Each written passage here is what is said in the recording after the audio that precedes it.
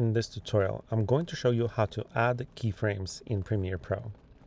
Now, I'm going to use this video and the first thing you want to do is pause it at the place where you want to place or add a keyframe. Now, this is important, but first click on the video clip where you want to add a keyframe.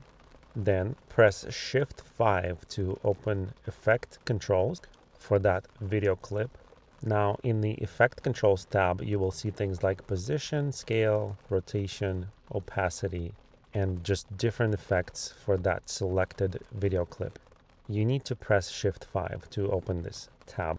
Now to place a keyframe, all you have to do is click on the clock next to the effect. And this blue circle here will indicate a keyframe. And at this point, your keyframe was added to your video clip. Now to place a second keyframe, we first need to play the video to the next location. Now pause the video where you want the second keyframe to be placed. But this time you don't have to click on the keyframe again to add it. Simply move the value next to scale.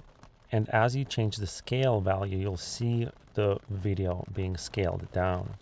And that's it guys, we have interpolated between two keyframes. So if you go back to play the video again, you will see that the scale will be interpolated between the two keyframes that we created